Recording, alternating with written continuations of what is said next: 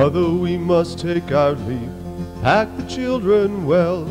I fear it's time we have to lay our plan. Dark words in the city, tales of turbulence they tell. Come quick, we better leave while we still can. Our country lies beyond the sea, Canada's its name. Land and freedom there for all who come. Place called Manitoba, they say we can reach by train. A new life for our daughters and our sons. Oh, let us go. The fields of fertile soil waiting to sow. There's room for all to wish and to make it grow. Oh, let us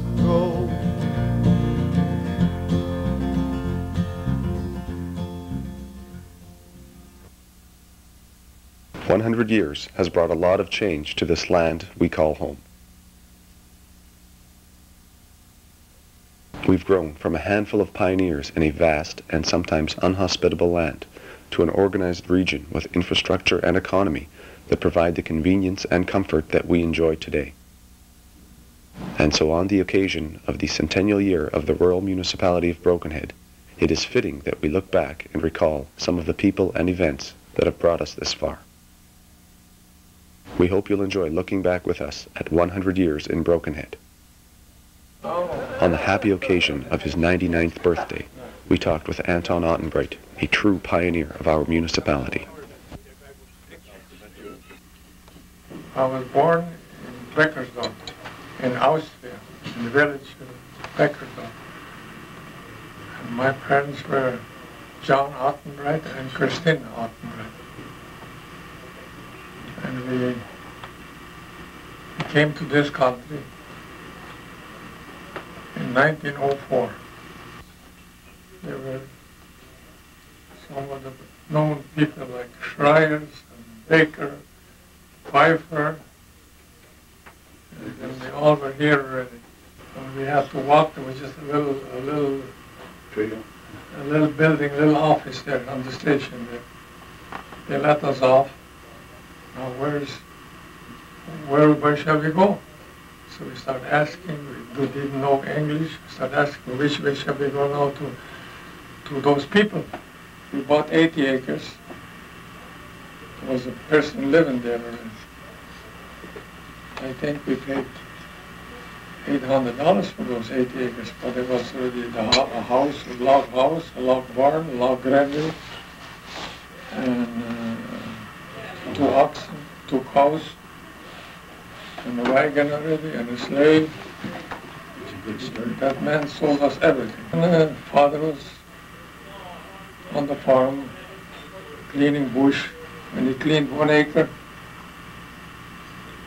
and he took the plow and the oxen, and I was driving the oxen, and he was holding the plow. We broke that one acre already to, to put wheat in there to have something there.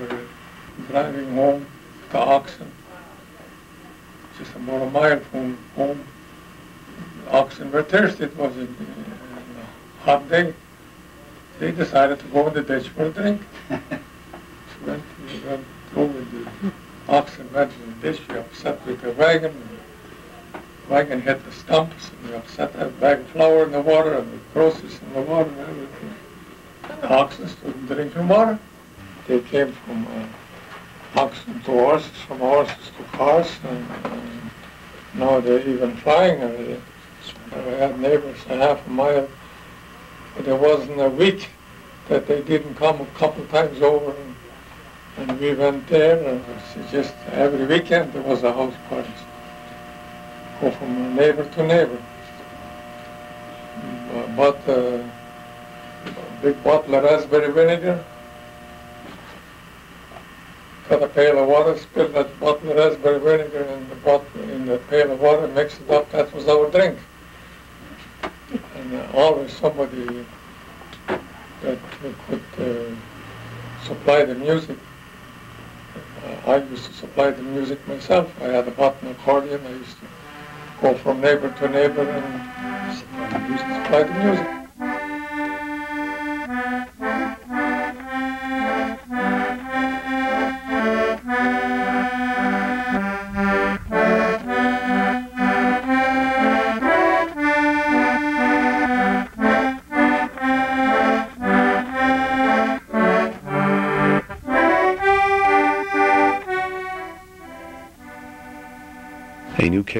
In front of the RM offices now commemorates the history of Brokenhead. New highway signs for the old communities and wise and appreciative words from some of our present leaders also were a part of our official celebration held on the summer of the year 2000. I want to particularly congratulate and thank the Revan Council and the volunteers who I know have been involved. To help celebrate the occasion of the centennial, local people, including some RM councillors, enjoyed a reenactment of the mode of travel of 100 years ago. Down the mighty Brokenhead they go.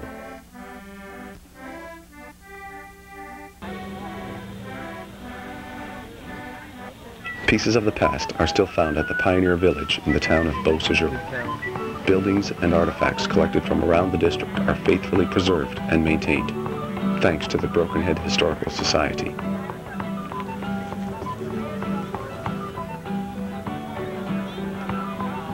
Here we join Mr. Tony Bonner, a former RM counselor, who recalls for us some developments over the years.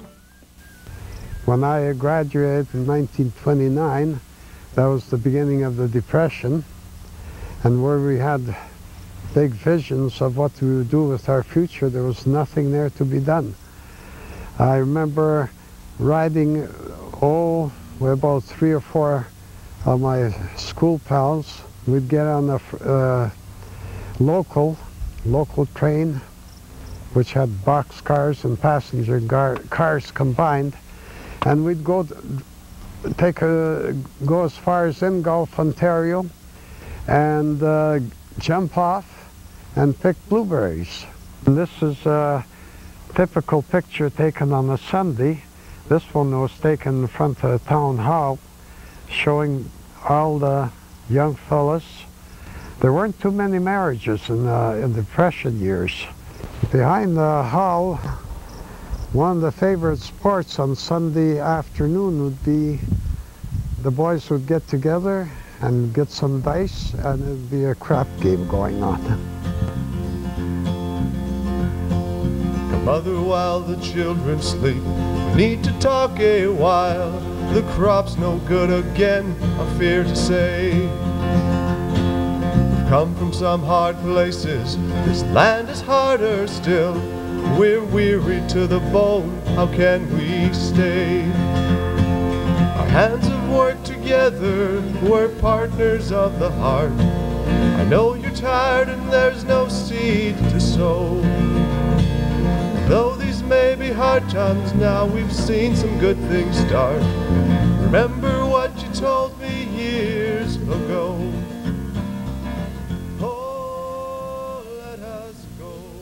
The municipal hall was right in the town of Beausejour and actually previous uh, to the Beausejour Town Hall being built it was used as a town office and a municipal office.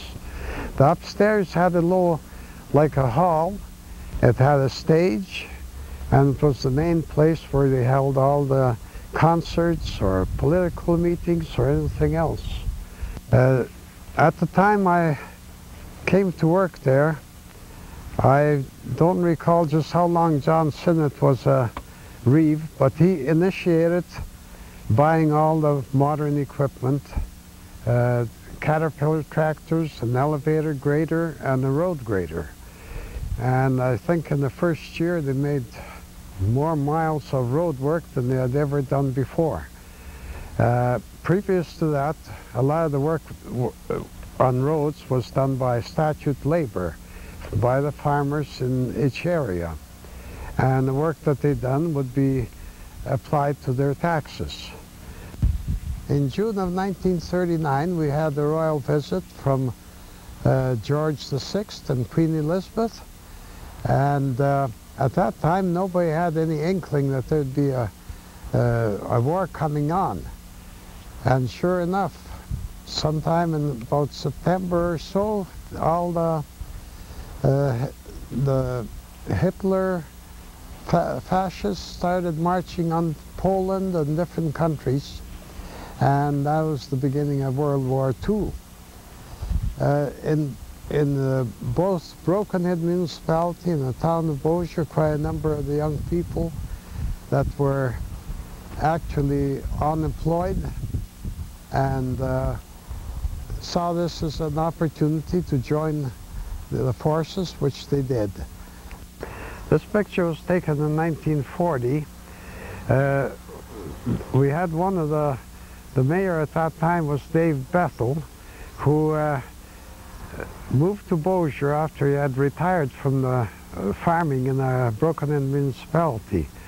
He uh, uh, helped with a lot of the, the collecting donations and everything else.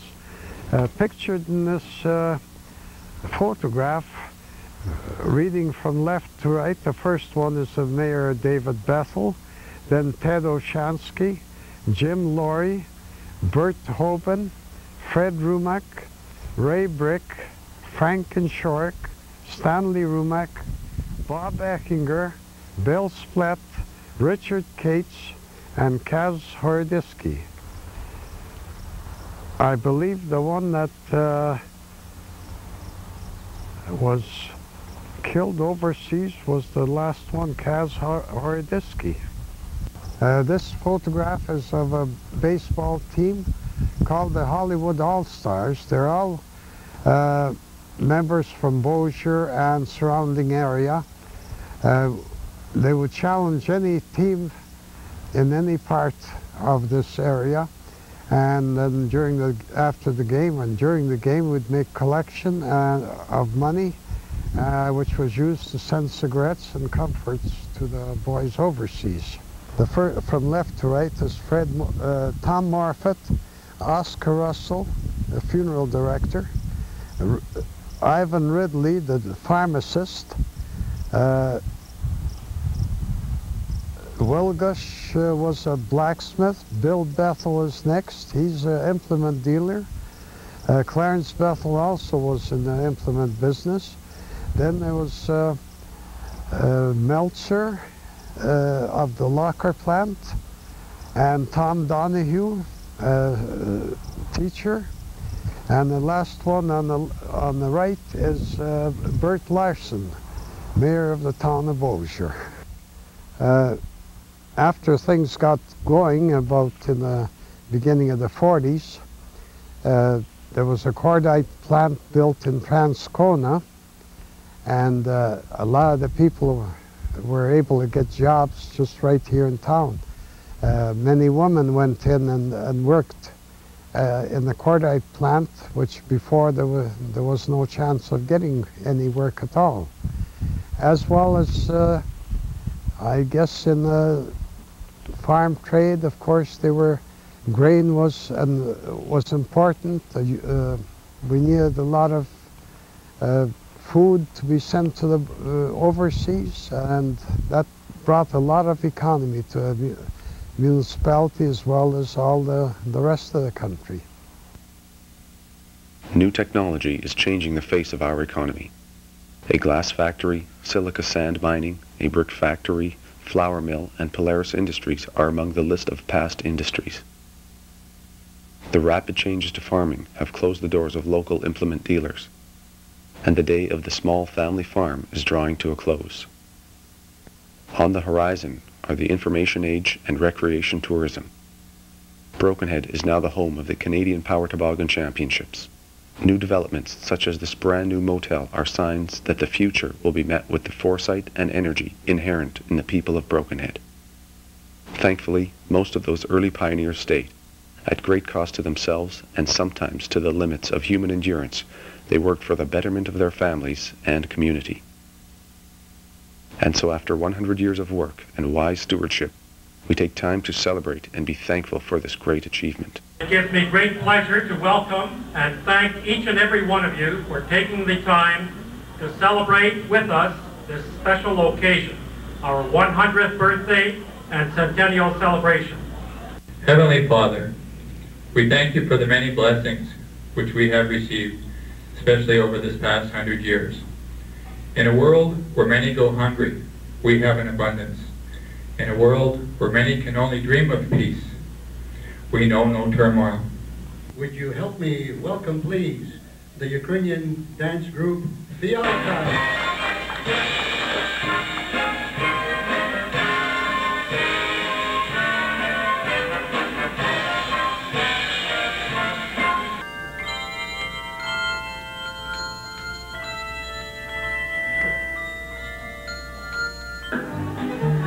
Back and go and then the boy run around the curve and then you start through it. Sinners arch by through Put an arm around your date and then you start promenade or just like that. Keep that star, keep that star. When I came here this evening for my wife, she said no teary eyes and no jokes.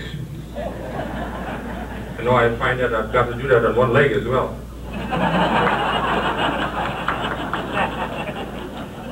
my, my task this evening is a pleasant one, and one that, which I am proud to do, to introduce one of our most famous native sons. Please welcome his uh, honor, Edward R. Schreyer.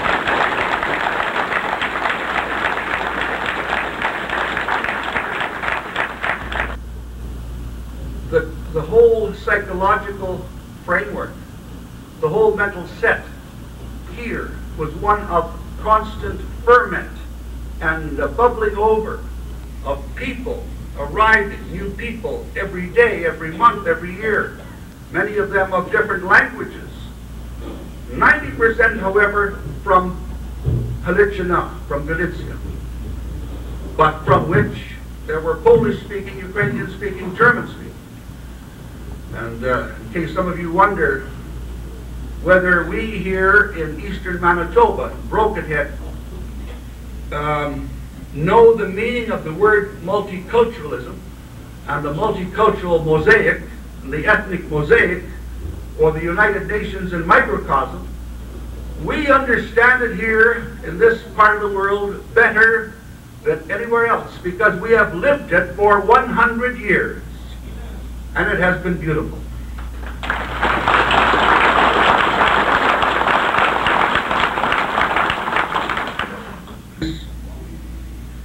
Instead of speaking further in my own words, I found that my father, just a year or two before he passed away, had written a 101 page narrative manuscript about uh, the early days of uh, his life and of the municipality. Land was bought at $2 an acre. In our case, 100 acres of solid timber, mostly poplar, 80 to 100 feet tall, 20 acres of slough grass. There was no lumber and no place to buy lumber, so two husky men would put a piece of timber on a scaffold, one above, one below pulling the saw back and forth. Working in that way, it took quite some time, but the choice, there was no choice. The roof was made of straw.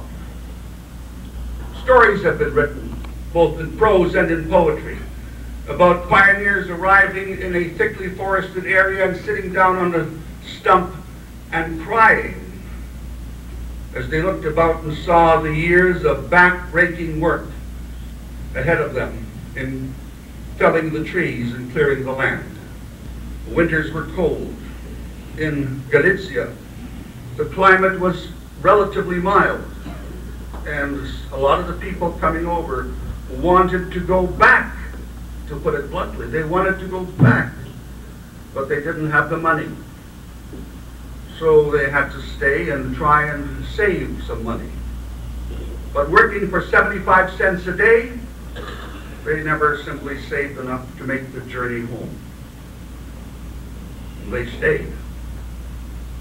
Fortunately, I say, they stayed. Fortunately for our part of the world, because I like to think that in staying they helped to build this part of the province and this part of the country. And uh, we of ensuing generations are the beneficiaries of those who lived here in the hard days. In the hard days, I mean the pioneer days up to and including the dirty 30s. I see as much problems on the horizon as our forefathers had to cope with in the past, but they're totally of a different nature. And maybe the best way to end this is to end it on a positive and optimistic note, which is that whatever our problems in the future, our chances of pulling through and living as well as possible will be as good or better here than anywhere else on God's green earth. Thank you.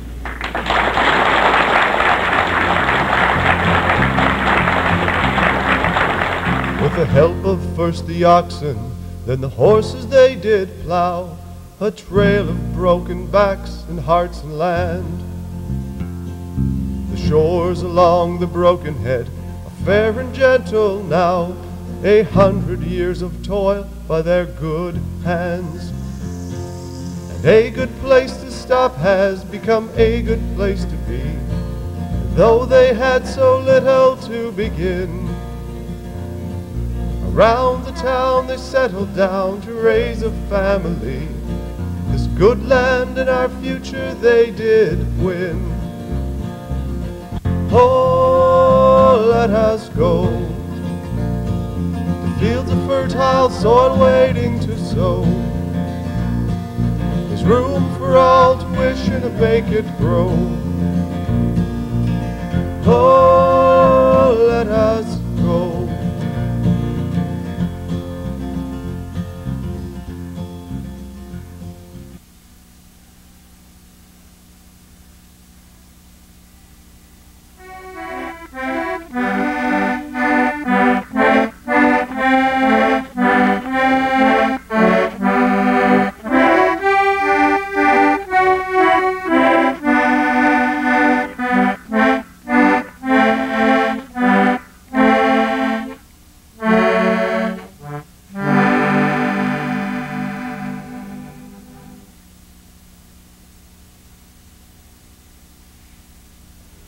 Fingers are not like they used to be.